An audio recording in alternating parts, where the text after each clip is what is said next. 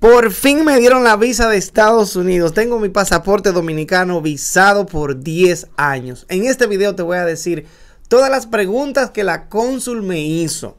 Pero primero hay que celebrar esto, señores.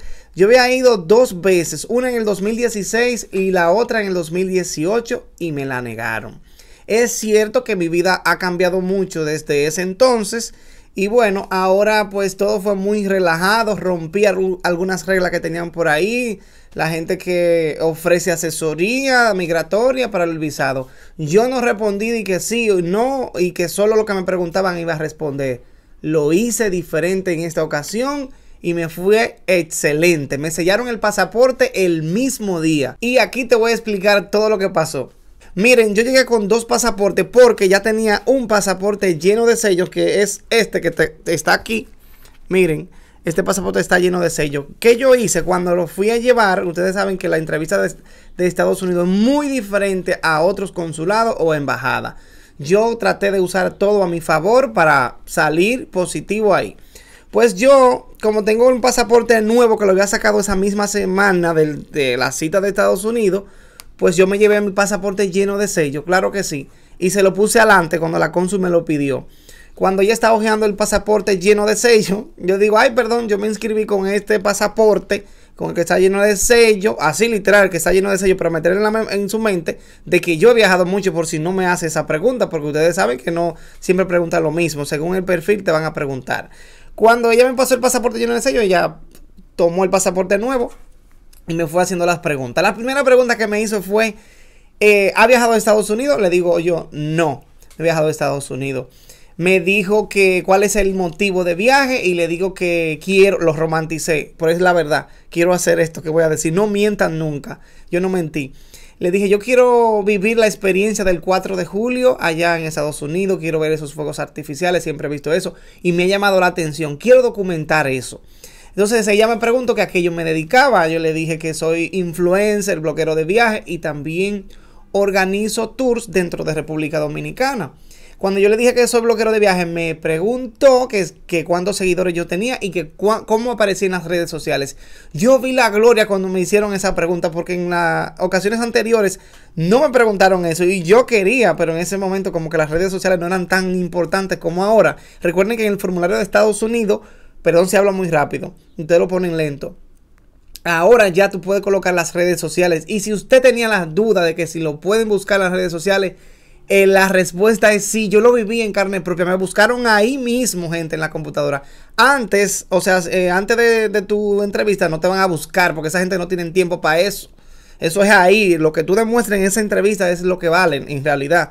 Entonces ella me buscó en su computadora y según lo que ella me dijo, pues eh, ella me buscó en Google. Porque ella, cuando ella me, yo le dije Aquaman RD con Q, ella me está buscando. Fue súper amable. Para mí que ella era boricua porque hablaba más o menos así, era de Puerto Rico. Y, ella me dice, eh, wow, pero el algoritmo te favorece porque aquí me aparecieron varios videos tuyos. Y yo dije, que yo me puse a pensar, ¿dónde le aparecen esos videos? Y es en Google, porque si tú me buscas te van a aparecer videos. Y aparecen los videos de CNN en español. CNN en español me entrevistó y eso me favoreció muchísimo. Yo me puse súper contento ahí porque de verdad no es fácil que te nieguen esa visa sin hacerte nada de pregunta.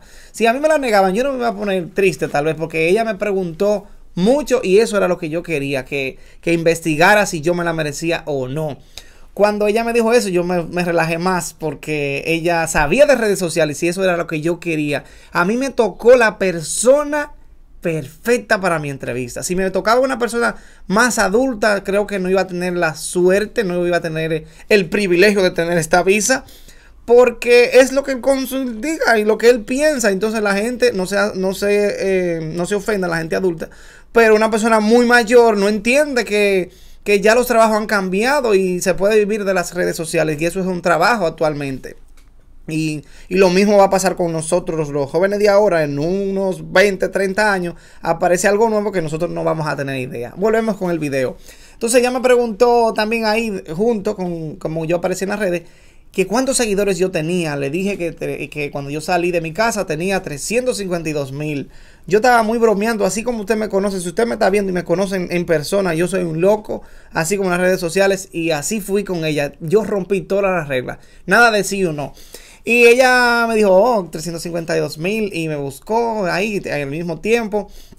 Y ella siguió buscando. Y cuando ella me preguntó, eh, ¿y dónde te piensas quedar cuando vayas a Estados Unidos? Yo le digo, en el Bronx, le digo yo, porque tengo una prima, tengo, todo el mundo tiene familia en Estados Unidos. Tengo una prima ya que ya es residente y yo le dije que me iba a quedar ahí. Y me dice ella, ah, pero en el Bronx no hay mucha agua, porque ella me buscó en las redes sociales y Aquaman y mucha agua. Y le dije, no, actualmente, como se puede dar cuenta, en mis viajes por el mundo, no solo publico lugares acuáticos, también así experiencia de la vida, la, la, la, y por ahí me fui. Y me dice ella, eh, ok, no, yo también le dije que ese era en el primer viaje, que quería vivir la experiencia del 4 de julio. Después yo le dije, pero también en mi segundo viaje quiero visitar los parques acuáticos. Y le digo yo, pero no le voy a mentir, yo no quiero visitar Disney, le digo yo, quiero visitar Universal Studio. Y ella se ríe y me mira. Eh, y me dice ella, ah, pero los parques naturales son mejores para ti. Me dice ella, y yo sí, también quiero visitar, porque ella era una conversación, no era un no era una entrevista estresante, la verdad. Y yo le digo, sí, también quiero visitar los parques nacionales, como el Yellowstone, le digo yo, el primer parque nacional del mundo. Entonces ya, sí, esos son mejores, me dice ella. Ya parece que no le gustan los parques de diversión de Orlando ni nada de eso. Entonces todo fue fluyendo. Y, y me preguntó, ¿por qué yo usé todo a mi favor, como yo le estoy diciendo? Me preguntó que con, dónde, que con quién yo vivía. Yo le dije, la respuesta sería solo o acompañado, como usted quiera. Pero yo siempre le daba detalle de más. Y yo le dije a ella, pues yo vivo solo en casa propia. Le agregué eso, porque en el 2018 y en 2016 me hicieron esa pregunta, que con quién yo vivía, pero que si vivía en casa propia o en casa alquilada. Y yo tuve que decirle en casa alquilada, porque en su tiempo me estaba llevando quien me trajo. Pero ahora vivimos en casa propia y yo le agregué eso porque ella no me lo preguntó. Entonces ella fue diciendo con la cabeza y dándole a la tecla y ya ustedes saben que eso pone a uno nervioso. Pero yo no estaba nervioso. Después me preguntó que si había viajado fuera de, si había visitado otros países. Y ahí fue que yo me di gusto. La verdad que el orden de las preguntas que le estoy diciendo no fue así. los países fue antes de lo que yo le dije anteriormente. Pero yo no quiero hacer corte porque estoy armando maleta porque me voy de viaje. Luego les cuento en Instagram. Síganme por allá, Aquaman RD. Cuando ella me preguntó que si yo había viajado fuera, yo le dije, ay, sí, en ese mismo tono. le digo yo en ese mismo tono que ay, sí. Y ay, sí, la respuesta era sí o no. Yo, como te dije, usaba todo a mi favor. Y le dije, ay, sí, he visitado 37 países.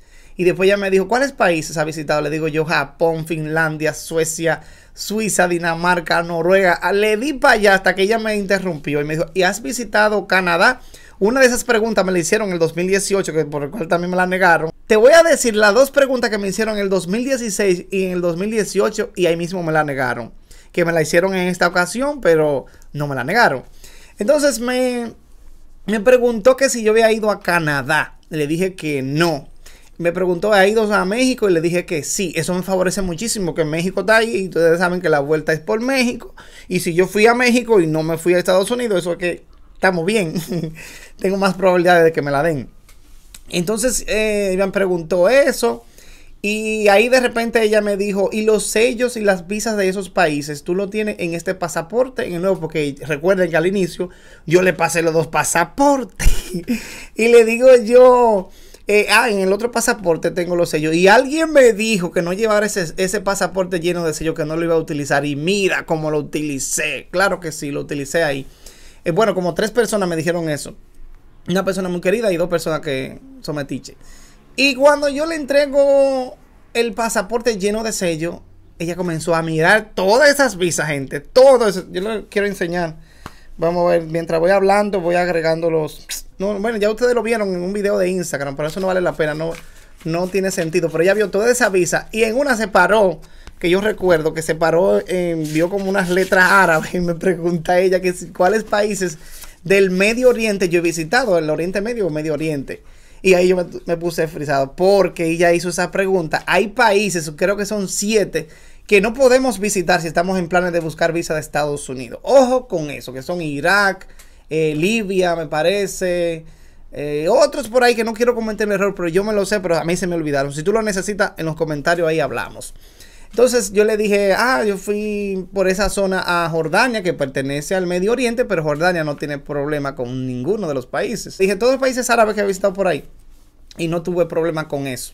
He conocido más de 37 países sin tener la visa de Estados Unidos. Tengo que registrar esto porque ahora empieza otra historia de Aquaman RD. Ahora con la visa de Estados Unidos voy a tener la oportunidad de visitar más países. Mucha gente en ese video de Instagram me dijo, no, que con la visa de Estados Unidos solo se puede ir a Estados Unidos. ¿Qué es eso? Muchísimos países, señores. La ventaja de tener la visa de Estados Unidos te la voy a dar en otro video. Pero es súper interesante. Es más de lo que ustedes se imaginan, las oportunidades que da esa visa.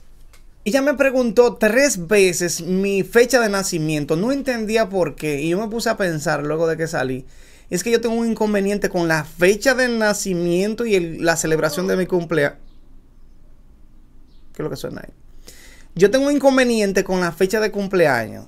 Por ejemplo, yo celebro el cumpleaños el 24 de noviembre pero en mis documentos dice 24 de febrero, pero la verdadera fecha es el 24 de noviembre. Pero yo siempre doy la de los documentos. Ojo con eso. Me hizo todas las preguntas del formulario, lo que yo había llenado, que cuando yo empecé con influencer le di la fecha. Que cuando yo dejé de trabajar donde trabajaba antes, que era en un supermercado, eso me lo preguntaron, yo tenía todo muy pendiente ahí.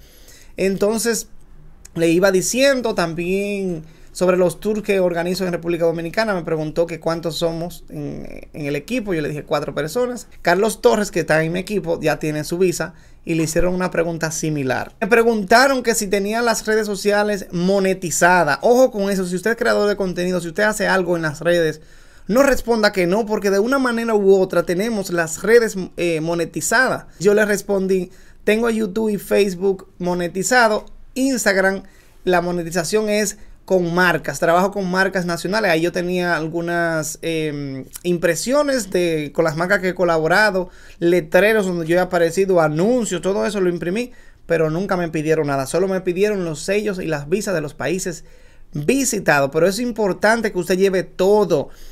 Estados Unidos es muy diferente, tiene su ventaja y su desventaja comparado con otros visados que de verdad que me gustan muchas de las cosas que pasan en la visa de Estados Unidos en, el proceso, pero hay otras que no me gusta tanto porque ustedes saben, luego yo haré un video comparando el proceso de Estados Unidos y la visa Schengen, o sea, la europea. Si ustedes quieren ese video, pídanmelo, que lo haré viajando por ahí porque yo después que termine este video me voy ahí arreglando las maletas. Denle seguimiento en Instagram. Hay dos preguntas que siempre hacen que son que si tú tienes carro o que si está casado. Yo no estoy casado, no tengo hijo actualmente, no tengo carro. Porque mi vida es diferente a la de la gente normal. Yo viajo demasiado y esas dos cosas pues se me complican tener actualmente. Entonces, esto se lo estoy contando para ayudarte, porque no tengo que estar contándote mi vida personal, que yo no tengo carro, no, no cuestione esa vaina. No lo cuestiones, yo viajo mucho, viajo mucho y tener un carro no me conviene, pero yo lo que quiero es ayudarte para que tú sepas cómo va a responder. Si ella me preguntaba sobre el carro o sobre que no tengo hijos y esas cosas, yo tenía mi respuesta. La del carro era que yo viajo demasiado y es la verdad. Y yo tener un carro parqueado ahí abajo, ¿qué? ¿Qué yo voy a hacer? Que yo estoy durando aquí en República Dominicana como dos o tres meses por lo que yo me dedico. Entonces igual, como yo voy a tener un hijo ahora, yo no quiero tener un hijo ahora, más adelante. ¿Tú me entiendes? Entonces imagínate, yo viajando por allá, ¿cómo le voy a dar calor a un hijo? ¿Qué es eso?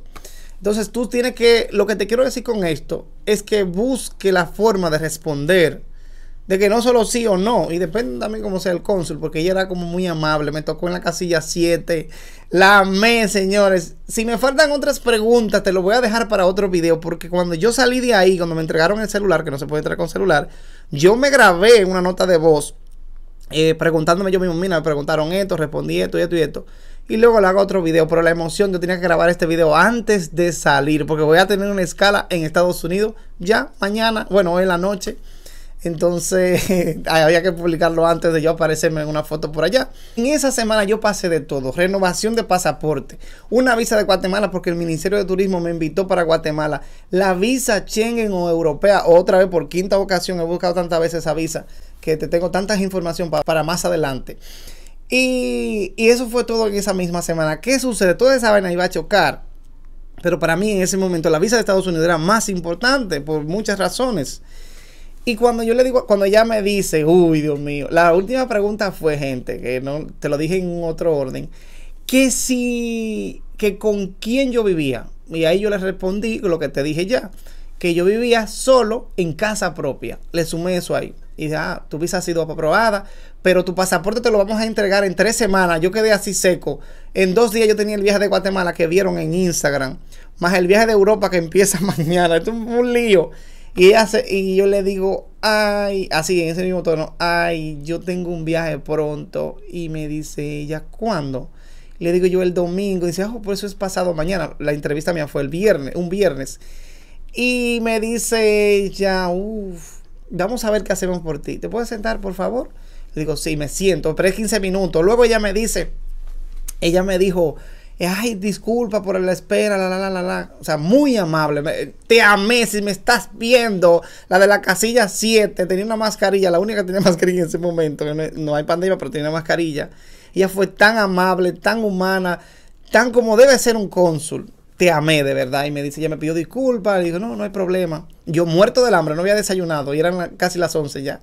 Y me dice ella, eh, mira, te podemos sellar el pasaporte en el día de hoy. Yo dije, yes, dentro de mí, se me cayó el pasaporte. Y ella me dijo, mm, te lo podemos sellar, pero debes esperar de una a dos horas. Yo le dije, yo espero hasta cinco horas. Ella más o menos se rió. Te estoy diciendo que yo fui un payaso. Yo te, luego te, despacio te hago otro video. Pero esto que había que publicarlo.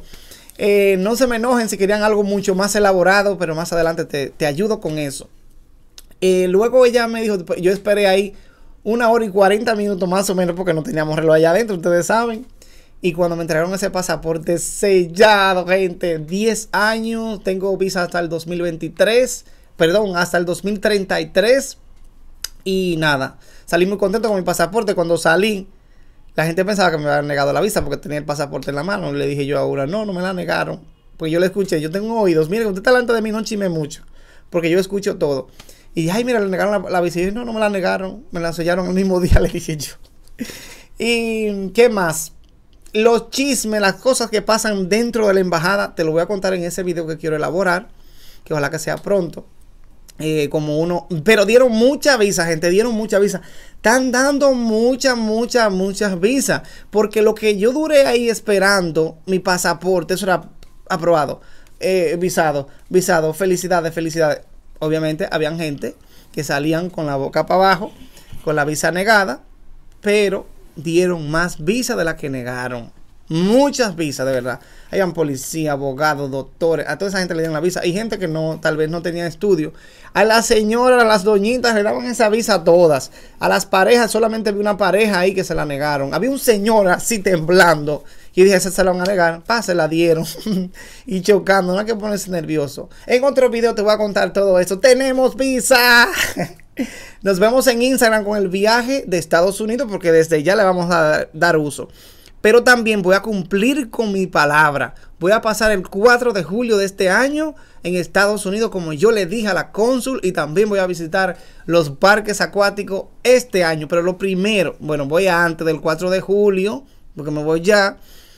Pero eso del 4 de julio, cónsul, te lo prometo que lo voy a hacer justo como te respondí en la entrevista. Hay que cumplir con la palabra. Muchísimas gracias, ya tenemos visa. Somos ya ciudadanos del mundo y estoy muy contento, de verdad. Me llama la atención Estados Unidos, pero no tantísimo como la mayoría de personas, la verdad, no tanto así como la gente sueña. Porque la, es la facilidad que te da la visa de Estados Unidos. Esto es demasiado. De verdad.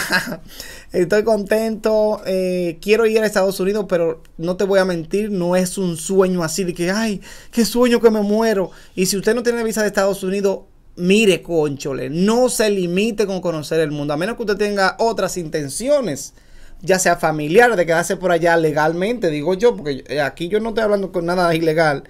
Pero si tu sueño es viajar y tienes el dinero, porque para viajar hay que tener dinero, lamentablemente, el viajar debería ser gratis. Pero no, entonces si usted quiere viajar y no tiene visa de Estados Unidos, déjate de eso. Ay, que no tengo visa de Estados Unidos, que, que no... ¿Qué es eso? Ponte a viajar, mi hijo. Hay otros visados, hay otros países que puedes visitar que te van a ayudar luego para conseguir la visa de Estados Unidos. La visa europea, que tengo dos videos aquí que lo puedes ver, se puede, si tú cumples, ahí es más fácil conseguirla pero la de Estados Unidos es más fácil conseguirla si tú no cumples. Yo te voy a explicar eso en otro video. Si tú cumples con los requisitos en Estados Unidos, es más complicado conseguirla. Parece una cosa loca. Pero en Europa, en los países europeos, es más fácil conseguirlo si tú cumples con todo, porque ellos chequean todos los papeles. Quiero agradecer a muchas personas que me ayudaron en este proceso. A Daisy, a Arnaldo. Esas dos personas fueron muy especial porque siempre me motivaron. Yo no tenía tantas ganas de volver a buscar la visa, pero ellos me ayudaron en muchas cosas que de verdad los llevo aquí. Y también a Martina Romero que me ayudó en todo el proceso, no solo con, con la asesoría, también con el pasaporte cuando yo tuve que renovar. De verdad que Martina, muchísimas gracias. Si necesitas una asesoría migratoria para este y otros visados, te recomiendo los servicios de Martina. Yo no me hago responsable de cosas que puedan suceder. A mí me fue muy bien. Lo digo porque a veces uno recomienda algún servicio. No lo estoy diciendo solo por ella, sino por cualquier servicio que yo recomiendo, pues usted primero debe asegurarse de que todo sea correctamente, de que te expliquen todo antes de realizar un pago. A mí me fue excelente con ella y de verdad que volvería de nuevo. Martina Romero, el contacto está en la descripción del video. Muchísimas gracias y los quiero a todos.